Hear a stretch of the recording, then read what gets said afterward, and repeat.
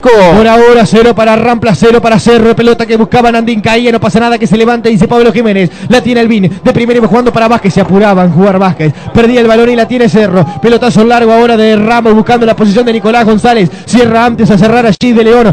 Recupera el Villero nuevamente por intermedio de Avero. Avero para Matías Cabrera. Sobre la punta izquierda la tiene el 18. Descarga más atrás para Videz. Se mete en el embudo. Lucha allí con su marcador. Pero de todas formas la tiene el número 10 de, Cerro. Hablábamos de Tabaré, Uruguay, Viudez. Descarga más atrás para la posición ahora de Nicolás Ramos, que de primera pega pum para arriba y en las alturas la va a buscar Avero, pero lucha allí. Gabriel de León finalmente pierde, le queda el propio Avero, engancha y escapa. La tiene Avero, toca por un lado, corre por el otro, caía que se levante, dice Pablo Jiménez. Desde el fondo ya sale Rampla.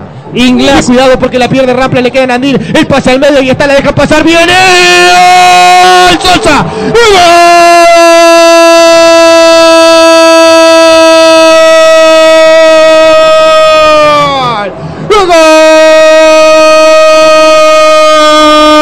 Cerro. Aparece Sosa en una jugada donde parecía que Rampla salía del fondo.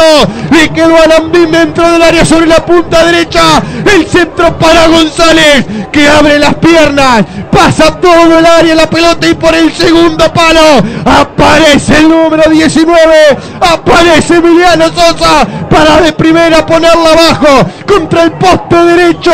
Ladrano Freitas que nada pudo hacer. Cae el primero en el Viera.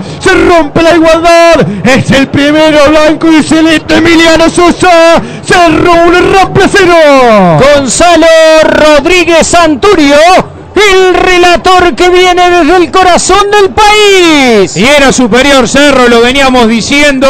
Otro grave error defensivo muy bien, Nicolás Sosa que abrió las piernas, apareció por atrás justamente Emiliano Sosa para marcar la apertura del tanteador. Se pone en ventaja el villero aquí en el Viera. Y usted lo vive por www.vilascenso.com y por nuestra app. Y ahora